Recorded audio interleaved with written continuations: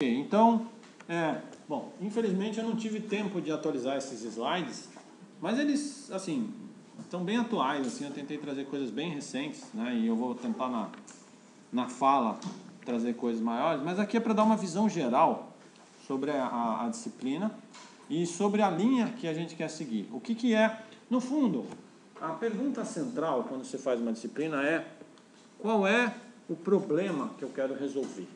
Né? O que, que eu quero, quando eu souber, quando aprender aqui o que você vai mostrar nessa disciplina, o que, que eu vou estar habilitado a fazer? Então essa é a questão central. Né?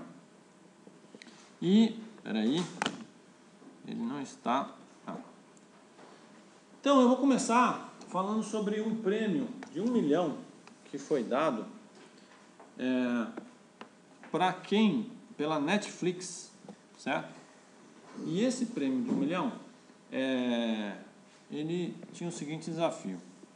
É, ele, ele, ele queria que você recomendasse, né? Quem, a maioria de vocês já deve conhecer hoje em dia a Netflix, né?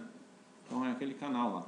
E você sabe que o Netflix é, ele, é, ele tenta recomendar coisas para vocês baseado no seu perfil, naquilo que você já consumiu antes, naquilo que você já assistiu. Né? A gente chama isso uma área na computação de recomendação. Né? É uma área bem forte. E aí, eu, é, eu, eu disse para vocês que não ia ter exercício hoje, mas eu menti. Vai ter, tá, gente? Então eu queria que vocês pegassem uma folha de caderno, escrevessem aí exercício 1. Tá? E eu queria que vocês me dissessem o seguinte: se vocês fossem considerar tá, é, que a pergunta é a seguinte: suponha que você fosse é, fosse seguir o desafio do Netflix. Então, o desafio do Netflix na época era o seguinte: o Netflix ia te dar um banco de dados, né, com os vários dados sobre os, é, os usuários do Netflix, e você teria que desenvolver um algoritmo para recomendar para pessoas que estão assistindo filmes, recomendar um filme, tá certo? E você, se o cara disser que gostou da recomendação, você acertou. Se o cara não gostou, você não acertou. E quem se desempenhar melhor vai ganhar o prêmio. Tá certo? Então o desafio é esse. Então a pergunta que eu faço para vocês é: imagine que você tem acesso ao banco de dados do Netflix. Tudo que você imagina que ele tem lá armazenado. Tá? Que eu também não sei qual é o formato do banco, mas eu quero que vocês imaginem que tem um banco lá e vocês, até pelo uso do sistema, vocês sabem que ele está coletando tudo que ele pode coletar ali, tá certo? Que dados que você levaria em consideração para fazer a recomendação, tá? É, e que passos você seguiria para recomendar esse filme para o usuário, tá certo? Eu ia olhar isso, depois de olhar isso, ia selecionar da maneira X e ia recomendar tal coisa. Tentem fazer isso de uma forma simples, que eu quero que vocês façam isso em mais ou menos 5 minutos. Lembrando que não é, eu não estou preocupado se está certo ou se está errado. Aqui é mais uma espécie de brainstorming, tá certo? Então, façam isso agora.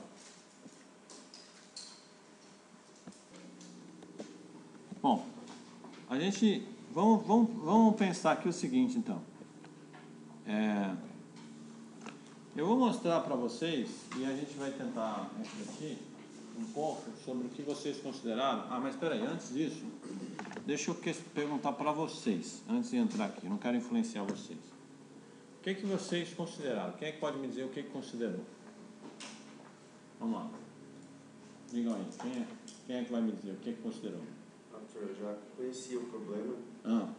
então eu pensei mais ou menos do jeito que resolveram. Então, se você já conhecia, eu vou deixar você para o final. Deixa, senão você vai influenciar as pessoas que não conhecem o problema. Porque tem gente que está pensando nesse problema pela primeira vez, né? Então, quem é que poderia me dizer o que, que vocês levariam em conta? Os títulos já acessados.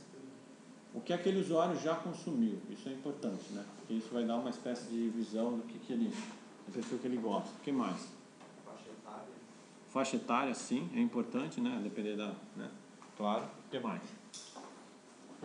Sexo. Sexo, sim. O que mais? Pesquisa. Pesquisas. Coisas que ele procurou, né? O histórico das coisas que ele procurou. Sim. Isso é bem importante também. O que mais?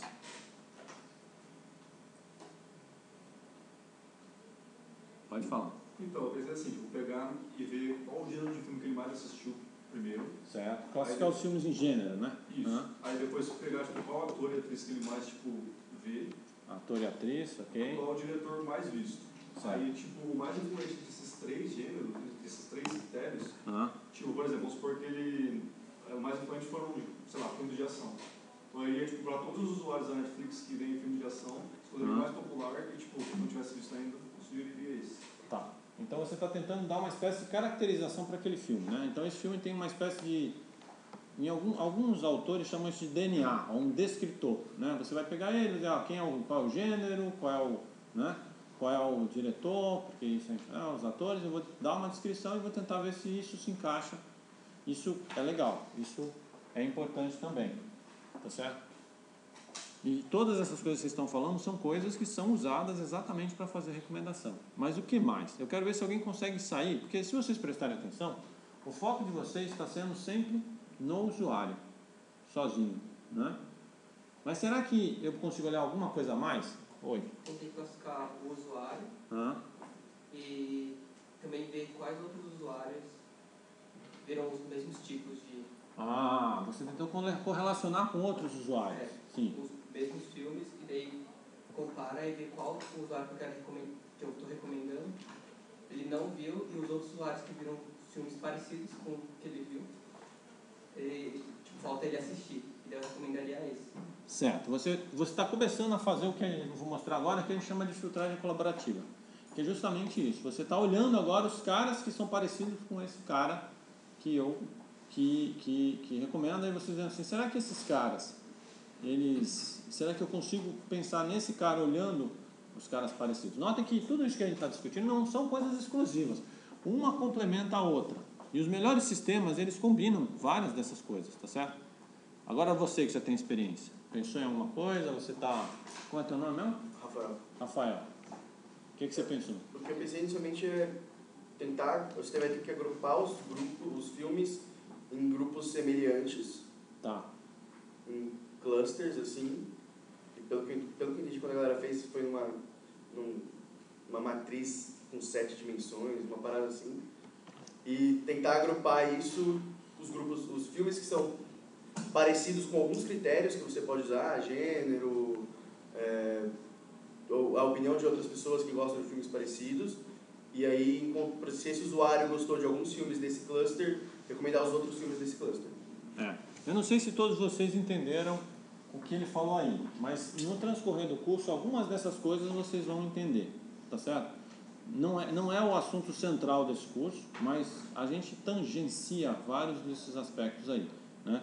Então, mas a ideia é que você pode ter a noção de cluster, que é a ideia é que você pode agrupar coisas por algum critério de similaridade. Você vai tentar dizer assim, ah, que distância está daquilo, eu vou criar, e aí eu posso tentar criar agrupamentos, tá certo? E eu posso tentar pensar assim, será que esse cara que eu estou pensando agora, né?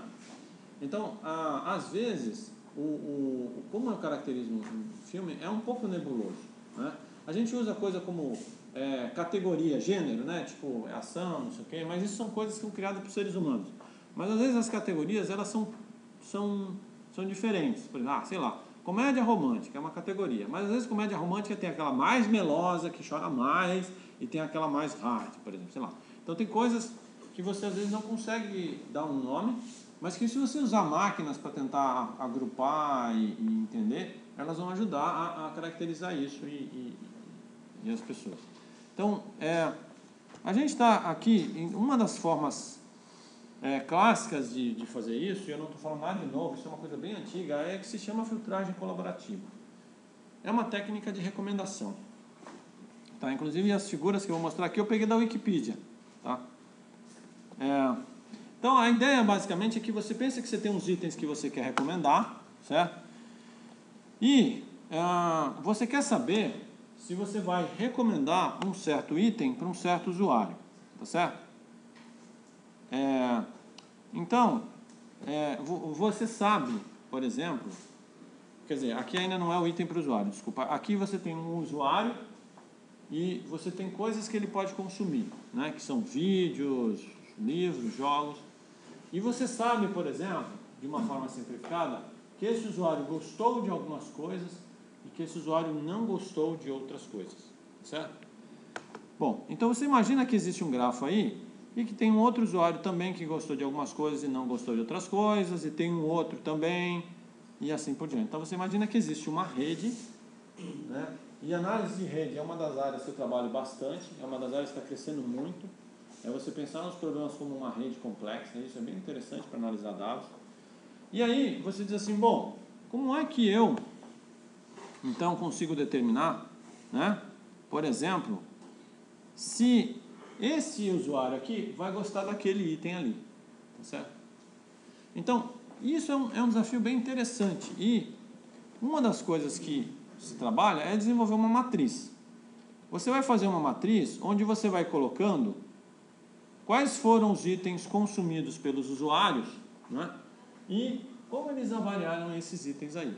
Tá certo? Tá. E aí, você consegue imaginar o seguinte: como você recomendaria esse item para esse usuário? Tá certo? É, eu poderia olhar apenas a coluna, né? E olhar, é, por exemplo, é, como os outros avaliaram e dizer assim, ah, é, sei lá. É, esse, aí eu ficaria empatado, né? Metade gostou e metade não gostou. Essa é uma forma, né? Mas a questão é, e se os demais não pensarem como as Drupal? Né? As Drupal é o meu usuário fictício aqui, né?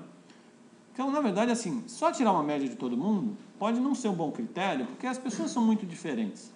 Será que não vale a pena tentar achar pessoas que, é, que são mais parecidas? Então, eu queria que vocês agora, frente a essas coisas que a gente discutiu e frente a o que eu acabei de mostrar, ver se vocês conseguem refinar o que vocês vão, vão.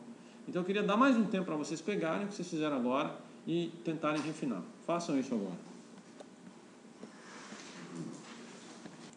Tem alguém que teve alguma ideia diferente e assim interessante, além daquelas que a gente discutiu, que gostaria de compartilhar com os demais? Tem alguém que gostaria de dizer, ah, aí pensando sobre isso, eu achei legal. Hã? Bom, é, na verdade, o que a gente faz não é só pegar uma média do que o pessoal achou daquilo ali e recomendar, porque isso é muito trivial, na verdade, é o que, né? Um sistema trivial falia. O que a gente poderia fazer é tentar ver aqueles usuários que, é, digamos assim, tem um perfil parecido com esse que eu estou querendo recomendar, tá? E eu vou mostrar como você faz isso de uma forma simples. Tem formas bem mais complexas, tá? Fazendo é, clusters e tal, mas aqui é só para vocês terem uma ideia. Então, é, eu poderia dizer assim, olha, é, esses dois caras aqui, as recomendações, eu consigo achar a interseção desse com esse, né, de duas recomendações. Né, e elas estão exatamente as mesmas. Tá? E desse com esse, eu também consigo achar a interseção de duas recomendações que elas são as mesmas. Então, esses são os dois usuários na matriz mais parecidos com o usuário que eu quero recomendar. Certo? Então, então, e aí, ao invés de considerar a recomendação de todo mundo, eu vou considerar a recomendação desses dois caras, que eles não gostaram. Tudo bem? Então eu posso inferir, né, a partir disso, tá, que provavelmente esse cara não vai gostar. Tudo bem? Tá. Então, é, o que que isso me, me o que que eu aprendo disso? Né? O que, que é importante disso? É vocês entenderem que essa disciplina, ela está numa posição de uma coisa que está se tornando muito importante na computação e muito valorizada até financeiramente, porque estão sendo os empregos mais bem pagos, e eu vou depois mostrar isso para vocês, que é o que a gente chama de ah, processamento, análise centrada nos dados. A ideia básica é que você começa dos dados, e a partir dos dados você faz as coisas, tá certo? E isso no fundo, é uma coisa que está revolucionando a forma como você faz tudo no mundo.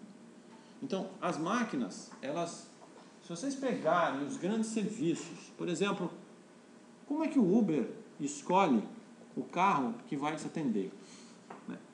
É isso, é um algoritmo complexo que leva várias coisas em consideração. Recentemente eu peguei um Uber, né? E o cara estava me explicando como é que ele, ele dá um, uma, uma, ele faz algumas, alguns tipos de coisa para meio que enganar o algoritmo e conseguir ser chamado. Eu achei sensacional o cara me explicando. Então, assim, o algoritmo do Uber, ele tem que considerar. É só o táxi mais. É só o carro mais perto? É claro que não. Né? Tem N coisas que ele vai levar em conta para é, é, é, escolher o carro que vai te atender. Certo? N, N fatores, N. São, e a, a, nesse momento tem um batalhão de gente estudando coisas para melhorar mais ainda. Por quê? Porque tem um monte de concorrente que está tentando ser melhor do que ele. Tá? E na computação, você aparece assim e você desaparece assim. Então, se o cara não toma cuidado, alguém que faz um algoritmo melhor do que ele e recomenda mais do que ele, daqui a pouco passa na frente e acabou. Então, os dados ganharam uma importância muito grande. E aí, o que que banco de dados tem a ver com isso? É porque no fundo, na hora que você quer, na hora que você começa a pensar que os sistemas todos eles estão pautados sobre os dados, você começa a refletir como é que você representa, como é que você armazena, recupera esse dado. Tá certo? E isso é fundamental. E é isso que a gente vai ver nessa disciplina. Tem uma parte importante que vai ser o começo, que é a modelagem, que determina tudo. Tá certo? Então vamos começar com bancos de dados. Vamos falar do, do que, que era a forma como a gente ensinava bancos de dados. Então teve uma época, né? Eu falei para vocês que eu comecei a dar aula em 1990 na universidade, né? E em 1989 curso técnico. Então, tinha uma época que a gente ensinava banco de dados da seguinte maneira. A gente começava falando das aplicações. Né? Então, por exemplo, é, você tem aplicação de todo que é tipo que trabalha com grandes volumes de dados. Você pode ter uma farmácia, por exemplo. Uma farmácia tem muita informação que roda ali, um número gigantesco de medicamentos, preços, movimento de estoque, né? E tem N outras coisas que eu poderia falar para vocês que fazem uma farmácia funcionar de forma eficiente. E é muito importante eu ter um sistema de dados, de informações por trás que me dê suporte, né? Tem uma, um conceito, por exemplo, chamado estoque mínimo, que é você tentar manter. Porque um remédio que você dá aquele ali, que você está vendendo, custa caro. Né? Então, será que não é, eu não consigo fazer um programa que mantenha o mínimo de cada medicamento de tal forma que nunca falte, mas nunca fique demais sobrando? Esse é um problema muito interessante. Eu já trabalhei com isso na época que eu desenvolvia sistemas, que eu tinha uma empresa. Eu trabalhei com isso. Eu já tive empresa, tá, gente? Assim, eu não contei a minha carreira, na verdade, né? Mas eu já fiz de tudo um pouco na minha vida. E entre elas eu já tive empresa, já trabalhei em empresa. E uma das coisas que eu trabalhei por muitos anos foi trabalhar com estoque mínimo. Isso era. Não, por muitos anos não, é exagero. Tá? Há alguns anos eu trabalhei com isso. Eu, eu vendia um sistema de controle de estoque. E, estoque mínimo era um problema muito legal de trabalhar, assim, porque você tinha que analisar vários fatores. Você tinha que avaliar quanto tempo o cara levava para te entregar o produto na hora que você pedia. Você tinha que fazer uma estimativa da, da demanda, né? por aquele produto, só que a demanda é sazonal, depende do período, tá certo? Imagina numa farmácia. Numa farmácia a demanda sazonal deve ser muito interessante, né? Porque deve ter demanda de acordo com vários fatores. Deve ser um dos sistemas mais legais de fazer o de farmácia. Porque você pensa, depende do que você está fazendo. Ah, é remédio para, sei lá, para corize, para não sei o quê. Então, quando chove, né, deve aumentar a demanda, né? Deve ter coisa que aumenta a demanda no carnaval, né? Não vou mencionar os detalhes, mas deve ter. Então, é, e aí, mas, é, parece brincadeira, mas é sério. Você tem que, é, é, é, o sistema ele tem que aprender a demanda de acordo com o período. Por quê? Porque como eu falei para vocês, tá? Não vale a pena você ter muito a mais lá, né? Porque muito a mais é dinheiro que está parado, né? E é, mas também não pode acontecer do cara ir lá procurar um negócio, ah, não tem. Não. Então você tem que fazer. É um algoritmo interessante você tentar manter ali, né? É, tem, tem padaria aqui, na, aqui em Barão que eu gostaria de desenvolver um sistema desse. Assim. Eu não vou mencionar nomes, mas assim, você chega na padaria, o que você está procurando não tem, e coisa que ninguém consome muito sempre está lá sobrando as pilhas, assim, você, e aí você fica dizendo, hã? Tem um bar aí que precisa de um sistema desse. Está precisando de um sistema desse, né? Então, é isso, né? É um, é sistema bancário. Tenta pensar o que se, há, há tanto de informações e o que é necessário para gerenciar um sistema bancário. É, sequenciamento do genoma humano. Eu vou mostrar aí os trilhões de bases que a gente tem e como é que a gente lida com isso, tá certo? Redes sociais. Cara, como você acha que o Facebook define o próximo post que você vai visualizar? Aquele cara mais inocente, quando você faz essa pergunta, o cara mais inocente fala assim: Ah, ele põe para mim ver todos os posts de todos os meus amigos. Aí você fala: Você já fez a conta? Você minimamente acha que ele vai fazer isso? Isso é a coisa mais imbecil que ele faria, tá? Ah, ele faz por ordem do tempo. Ele me mostra a última coisa que meu último amigo colocou. Seria igualmente imbecil, certo? Ele não faz isso. Então, se ele não faz isso, ele vai fazer o quê? Ele vai ter que escolher. Ele escolhe o que ele vai te mostrar. Baseado em quê? Imagine o, isso que eu mostrei para vocês, filmagem colaborativa. Agora, imagine o cara que tem bilhões de usuários para analisar. O que, que ele consegue fazer? Só que ele precisa ser capaz de processar esse negócio. Não é só, ah, eu pensei um algoritmo muito legal, mas como é que você processa né?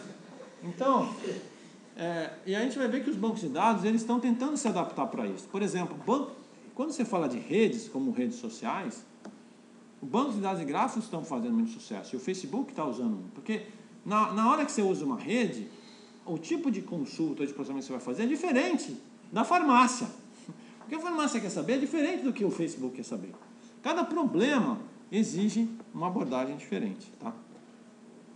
Então, grandes volumes de dados e as suas relações complexas justificam a criação de estratégias específicas para gerenciá-los. Essa é a nossa questão. Tá? Então, é, é, era dessa forma que a gente falava bancos de dados. Né? A gente precisa dessas estratégias de um meio e aí surgiu essa área que o pessoal chamava de banco de dados, ou chama de banco de dados. Por que, essa área é chamada de banco de dados? Porque é, quando ela surgiu, se pensava muito numa ideia central, tá certo? É, numa entidade central chamada banco de dados que iria armazenar né, é, os dados né, para é, gerenciar essas coisas. E até hoje se usa muito esse modelo de um banco. Né?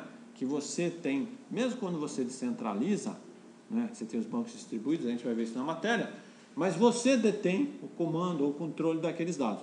Mas eu vou mostrar para vocês que nem sempre funciona assim hoje em dia. Por isso que esse, essa noção está se ampliando e se expandindo.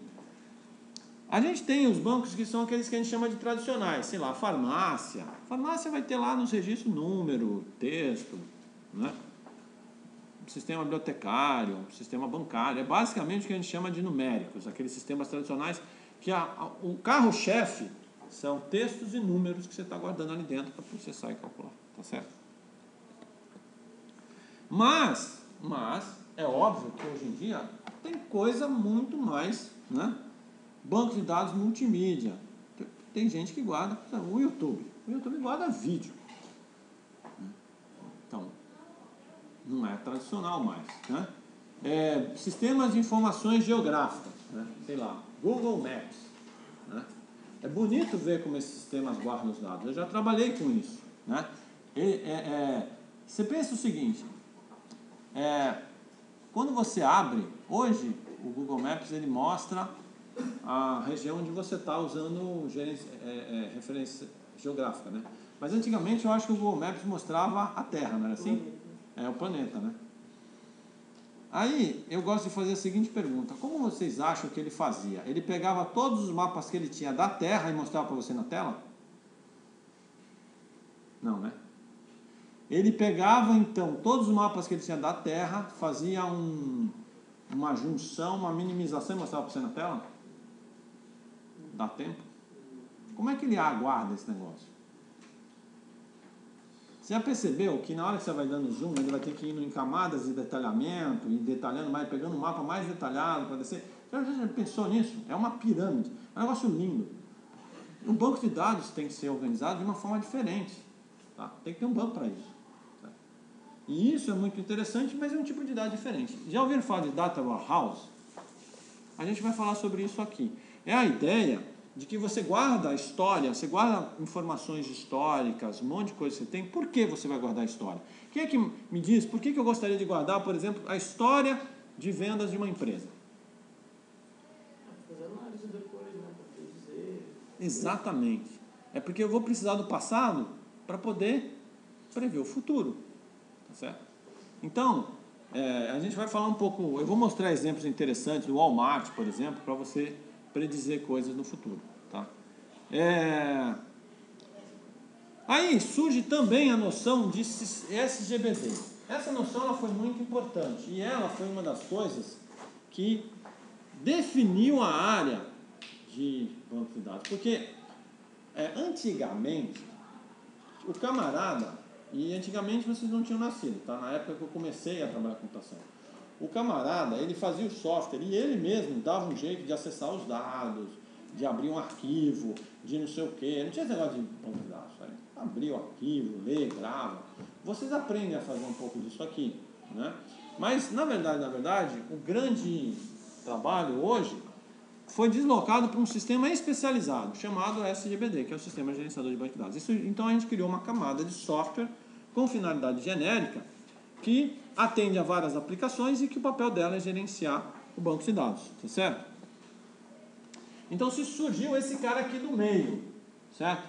Esse homem no meio aqui, né? Que é o SGBD, ele passou a ser um software próprio que você instala e ele conversa com a sua aplicação conversa com o banco de dados. Isso se tornou cada vez mais recorrente. Hoje em dia, só não usa SGBD os caras que estão lendo e gravando coisas mínimas, assim, ah, um arquivo de configuração, mesmo assim, tem gente que até isso põe no SGBD. Tá? É tão fácil hoje você botar. Tem SGBD, eu vou mostrar para vocês, que ele fica embutido na sua aplicação. Ele é muito leve. Até celular hoje em dia tem SGBD. Então, tem mais porque você não usar um.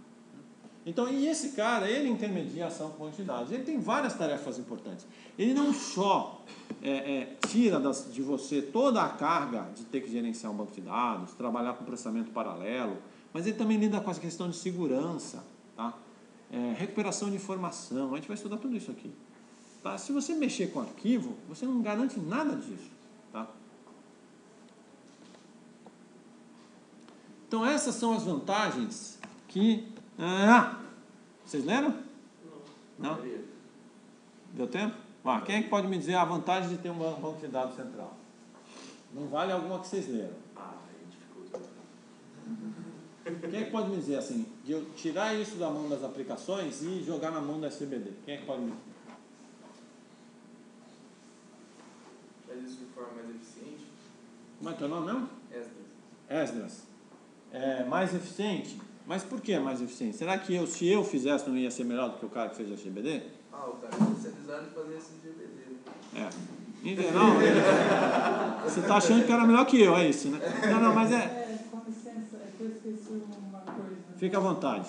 Então, é, o, que, o que acontece na prática é que esses caras, eles não só são especializados, como eles estão fazendo isso há muito tempo, certo? Então, como eles estão fazendo isso há muito tempo, tem um monte de gente trabalhando e refinando, dificilmente você vai fazer um negócio melhor do que o cara. Isso é uma das vantagens. que mais? É a questão de segurança que eu já tinha falado, né? Você tem um cara central que centraliza todos os aspectos de segurança, etc. que mais?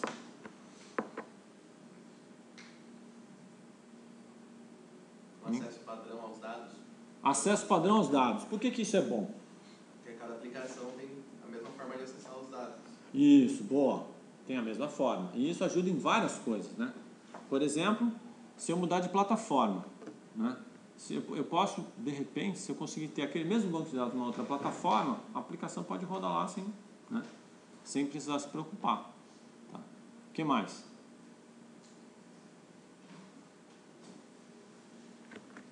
Tem várias coisas, tá certo? Então, por exemplo, a independência dos dados, que é, é você pensar nos dados, no modelo de dados, sem pensar numa implementação específica.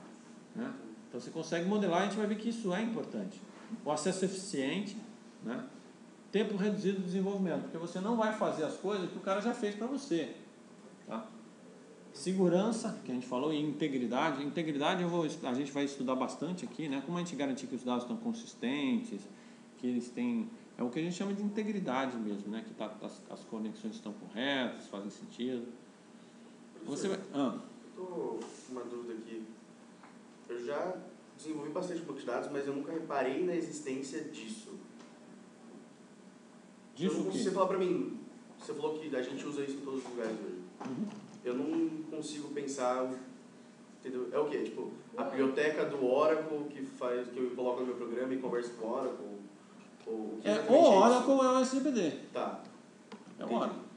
ok. Ou seja, você, você não acessa.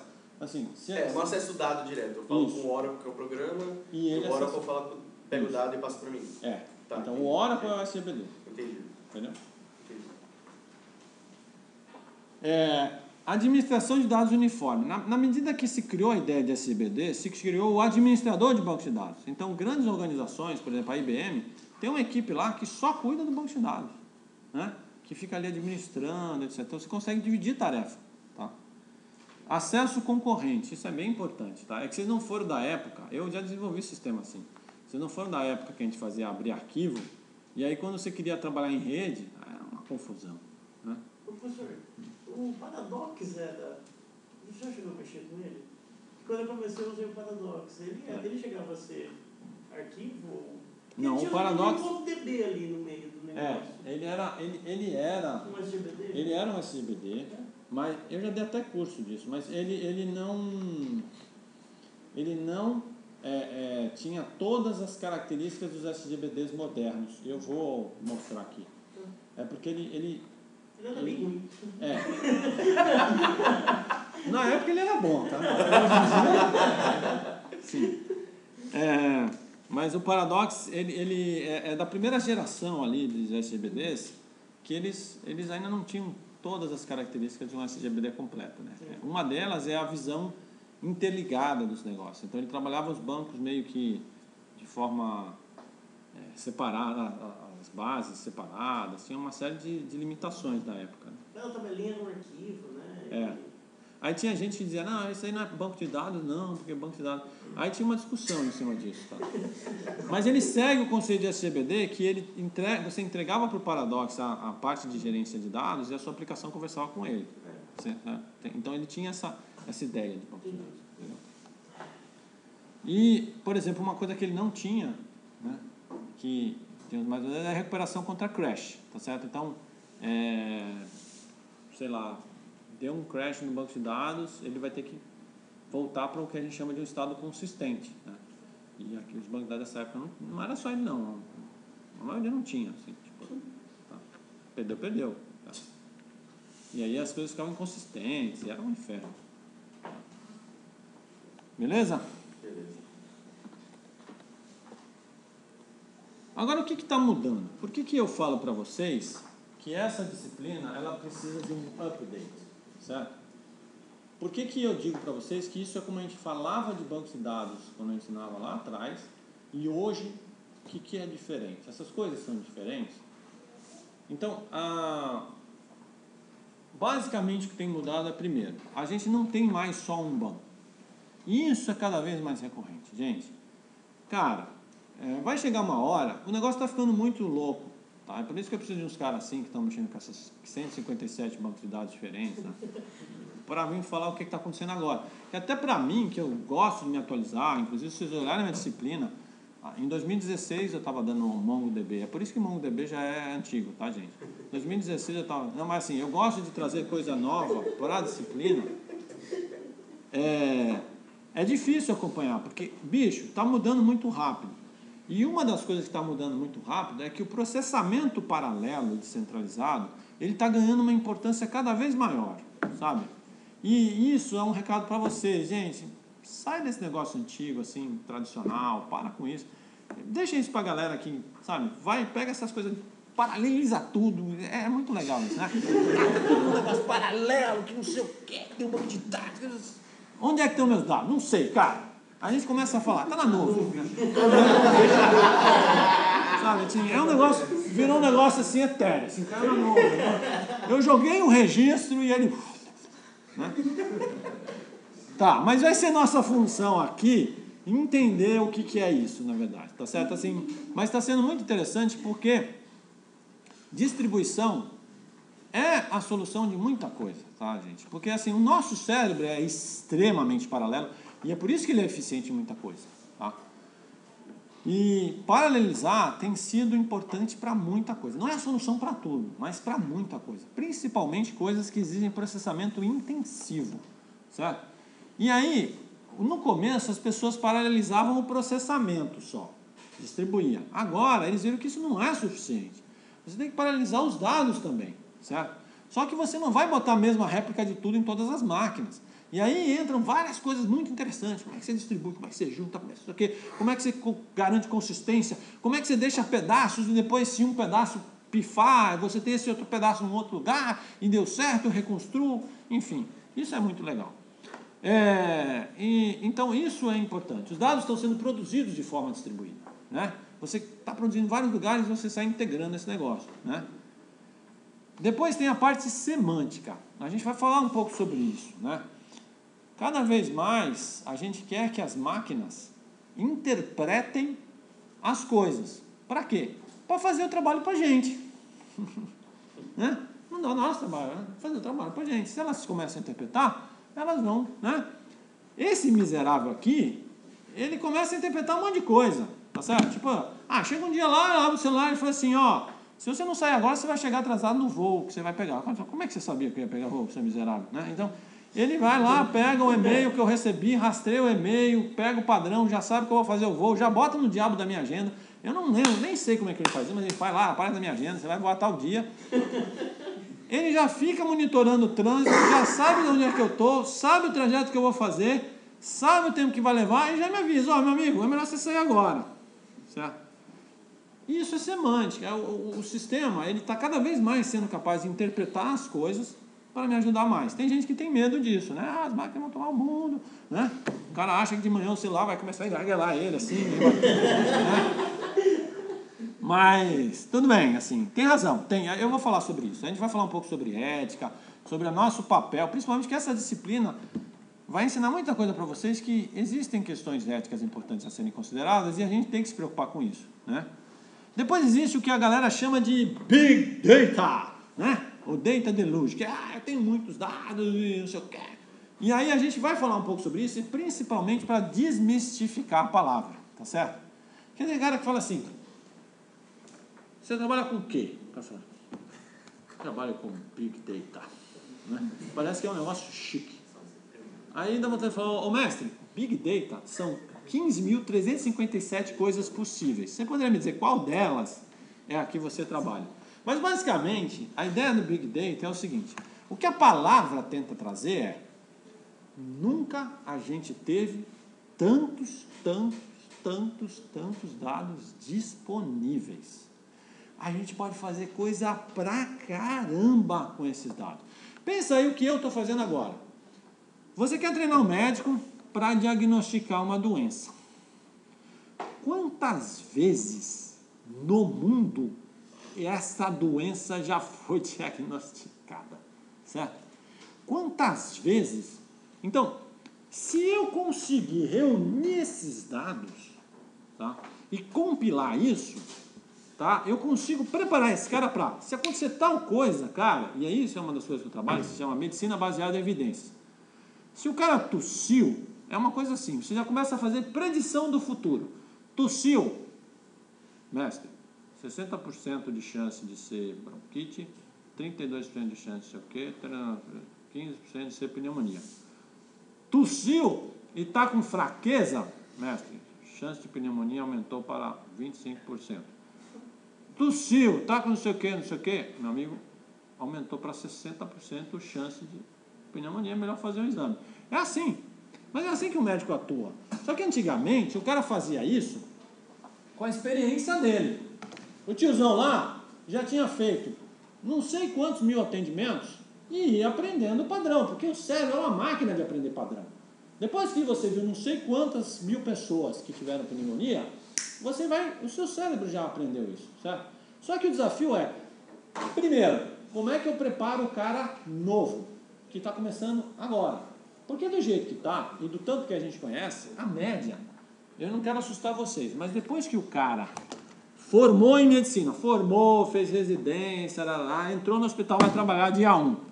Ele leva 10 anos para parar de fazer besteira. Sério. Eu não estou eu não tô chutando. Eu estou trabalhando com MS, 10 anos. Não dá, cara, é muito tempo. Você não pode deixar o cara lá 10 anos, ou sei lá, até que daqui a 10 anos ele vai aprender a diagnosticar pneumonia direito. Não pode. Então você tem que agora pegar esse mundaréu de dados, certo? E preparar esse cara. Mas o problema não é tão simples, não. Você não vai chegar para o cara e falar assim, ó, oh, mestre, fiz aqui uma cartilha com 157 mil páginas mas eu lhe garanto que aqui está todo conhecimento. Claro que amanhã já vão ser 160 mil páginas. Mas hoje. E. Você podia dar uma lida? Pode, né? Tá. Então o desafio para todas essas áreas é como eu analiso todos esses dados e dou para o cara né? e prepara o cara ou aconselha o cara para tomar as decisões. Isso é o que a gente chama de Big Data, tá certo? E isso é uma das coisas que está revolucionando, mudando. Por quê? Porque até o tipo de banco de dados que a gente usa, ah, banco de dados relacional, não sei o quê, até isso depende. Tem aplicação que ele é muito bom, tem aplicação que ele não serve. Então você às vezes vai ter que escolher a estrutura, o banco, não sei o que, não sei o que, de acordo com isso, certo? Outra coisa que está mudando muito, a parte descentralizada eu já falei, e ela é muito importante para o Big Data. Mas tem uma outra coisa importante também, que é bancos de dados em memória. Já ouviram falar disso? Já? Não? Banco de dados em memória é o seguinte: tudo na RAM. Sério? Tudo na memória RAM. Pronto. Por quê? Porque o preço da memória está caindo. Né? Tem gente que tem grana, certo?